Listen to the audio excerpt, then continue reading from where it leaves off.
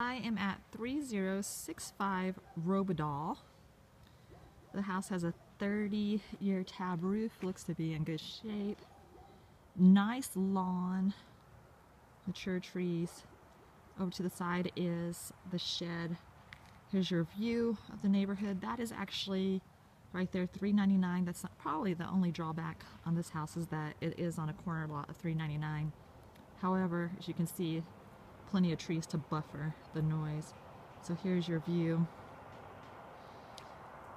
And I don't know how much this house just sold for, but I know it was listed in the 500s. It's a bigger house. Um, and they're currently changing a lot of things up on it. And, but I know it was a very well priced house. And then here's the rest of the neighborhood. And then that's still your yard, your lot all the way out to the corner there. It is a little over half an acre. This is a nice sized lot. Um, very large driveway and plenty of room to play basketball.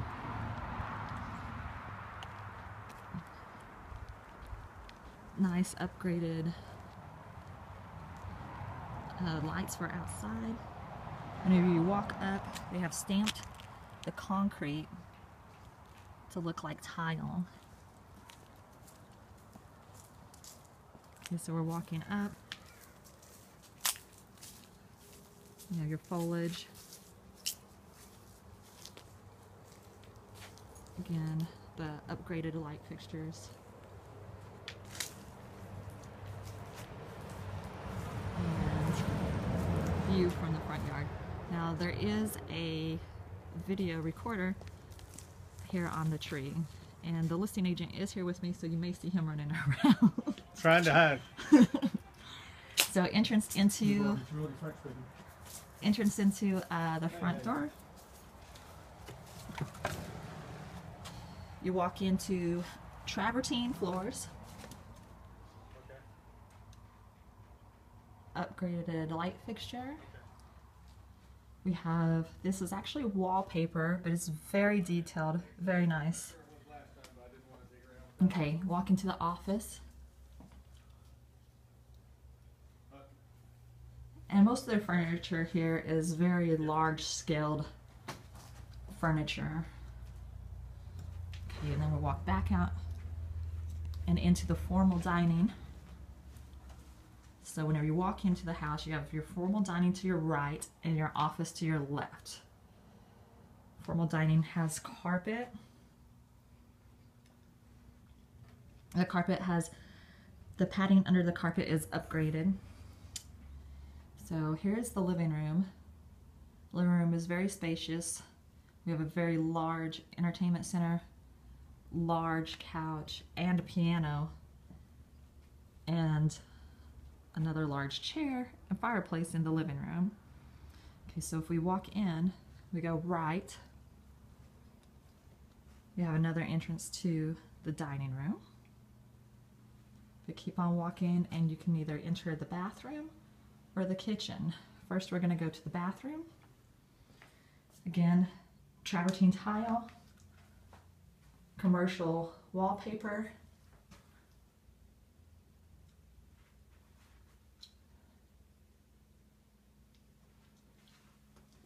granite countertops, undermount sink, flush fixtures. Now, the cabinets have been professionally um, painted with texture. Each cabinet in each bathroom is a little different. This one appears to be more alligator skin, very nice quality. Okay, so now into guest room one. And then your closet door there.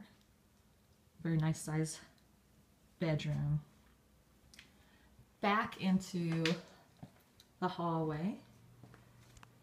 And we have the AC and the AC actually has an ultraviolet light connected to it so that way it will kill the pathogens through the air. Okay, into the kitchen, granite island, granite countertops, stainless steel throughout the kitchen undermount sink, a nice tall cabinetry. Forty-two inch cabinets, and the island actually is a, uh, locks in place, but it roll, has wheels on as well. Okay, so if you didn't catch that, he said the island locks in place but is has wheels and can be moved, and the cabinetry is 42 inches tall. So, okay, and again, it's all travertine throughout. Now the eat-in kitchen, upgraded furniture fixtures, again with the wallpaper, different wallpaper. And we go into the laundry room. This is the dryer. He believes it conveys with the house. And you can either hang them or fold them and allow them to dry. Very nice um, upgrade. And here is the hot water heater. I'm sure it's also uh, energy smart and probably upgraded. Now we're going to go into the garage. The garage is oversized. Two separate doors for each car. Each one has its own automatic garage door opener. There is the attic access and a window.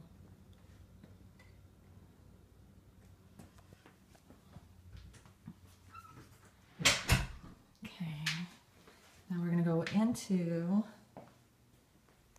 the kitchen and we can access the backyard through this door here. However, we're gonna first finish looking at the rest of the house. So now to go to. April, these are Hunter Douglas Venetian blinds as well, Okay. from what I've been told anyway. Hunter Douglas Venetian blinds, so that's an upgrade. Okay. And then to the other guest room. The unique thing about this house is that each room has its own wing of the house and they're not connected as most houses are. So you everybody gets their own privacy. And this is a very large guest bedroom. As you can see, two twin size beds with still lots of furniture. And then the closet, nice size closet. Uh, it even has a dresser in there, so very large closet. And then for the bedrooms, they all have their own little remotes to connected to the wall for the ceiling fan and light. Guest bedroom, or guest bathroom, again, granite countertop, undermount sink, professionally done painting the, the cabinetry. Nice toilet, travertine, bathtub.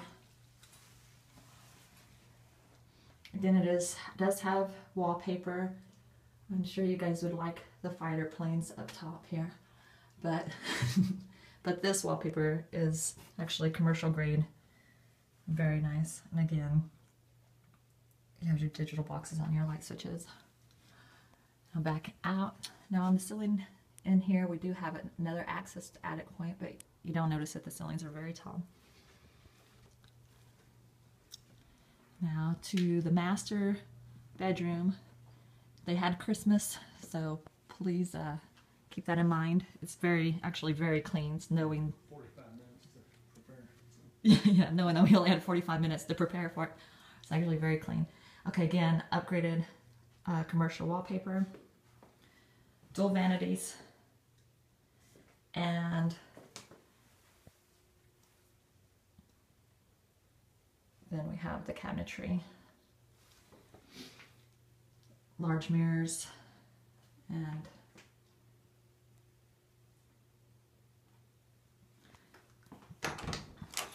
pantry, just average uh, linen closet for the bathroom. Jetted tub.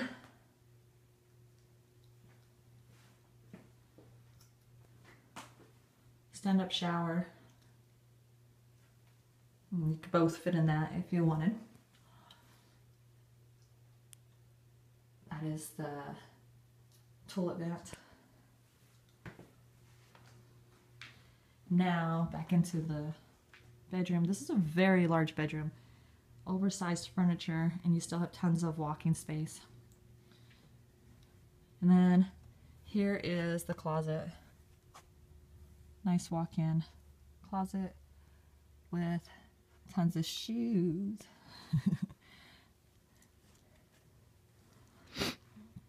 okay, now I'm gonna walk back out. We'll go take a little tour of the backyard. Now the backyard has a underground propane tank that keeps that is attached to the fireplace. Okay, so whenever you walk out onto the patio, we have two ceiling fans. Again, the stamped concrete. Mm, Nice wooden deck, level with the concrete. The hot tub and a fireplace. And I'm sure you guys have seen this before with the crystals and the wood barrel. Okay, we have the AC unit.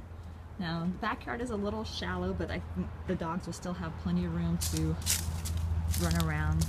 You do have that lot all the way to the road. However, you could fence it off with ease for the time being, just right there connected to the house.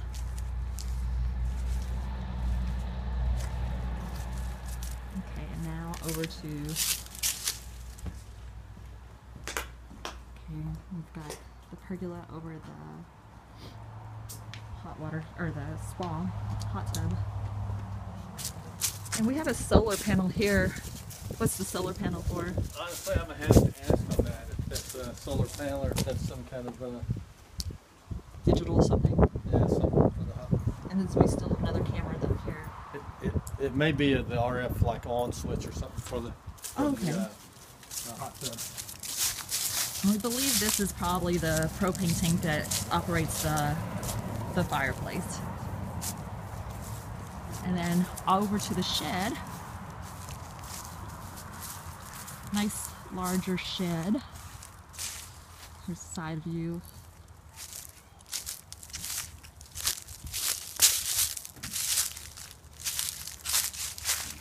Now, Robidal is an area where you have circular roads, and so you could really take a dogs for a walk and just end back up on your road. And this, side is for your tools. This is a approximately a ten by twenty foot, Okay. twelve by twenty foot, um, shed. 12 by 20 foot Yeah, that shed. side for your, for the. They. Okay. This side is the with the cedar, cedar plank. And we also have the cedar plank side With here. AC, so it's got li- light in the window unit as well. Okay. Yep. There's your AC unit, your lighting, and it's all cedar, so it would keep the bugs and other things out. Goodness. Oh, nice, uh, strong plywood floor.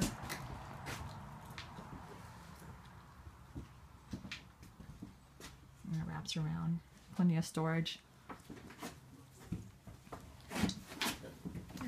Now, back out. Very private lot, even though it's